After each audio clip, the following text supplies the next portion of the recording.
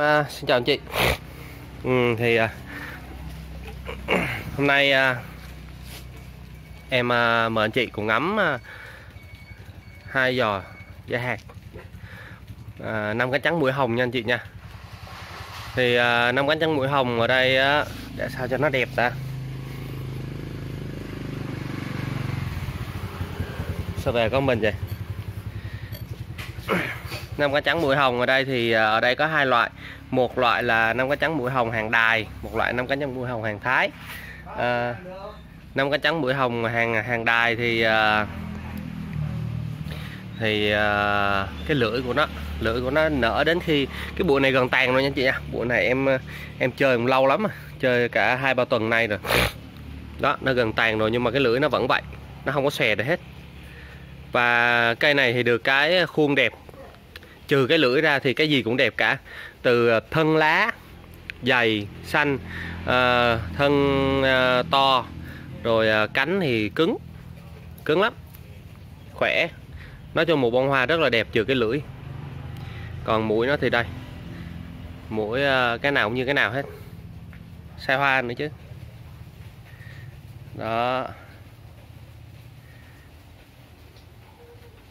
Mới nở ra thì nhìn đẹp trắng tinh.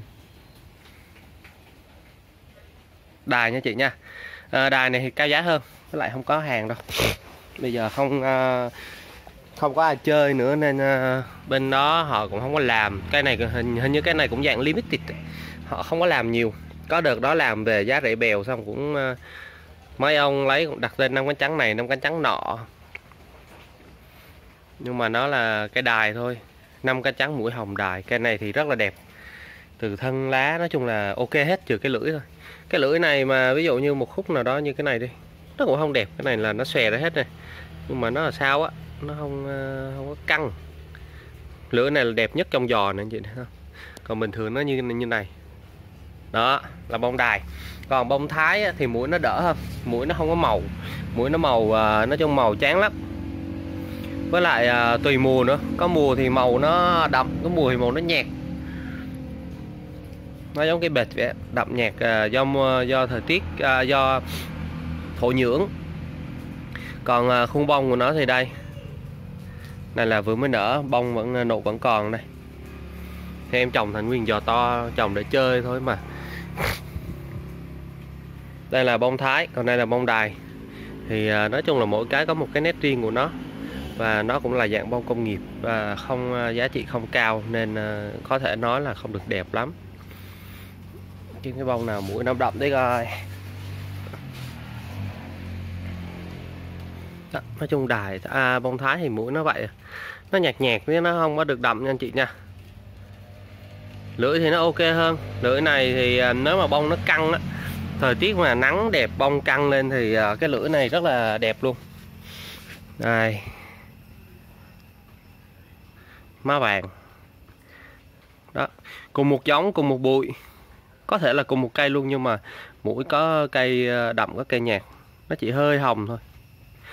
À, cây này em cũng ờ, chia sẻ cho khách rất là nhiều. Thì à, đi về vùng khác hoặc là có năm nó nó đậm bông của nó nở ra đậm như cái bông bông bông đài kia luôn á. Khách gửi hình về cho em. Đây này như cái bông này đẹp nè. Đó chị thấy không? Bông này thì nó đậm hơn nè. Đấy, như những cái bông này mà thích đặt năm cái trắng gì đặt thôi. Đó, bông này thì nhạt hơn. Những người chưa biết thì họ cũng sẽ mua với một cái giá kỳ vài triệu bình thường. Đó, đây là giò của em đây.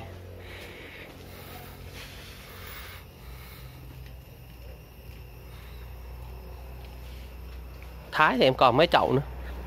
Gần hết rồi đó, thì hai bông nó đang ờ, đang nở đây một lần, thì em ờ, hai bông đều nở hè hết.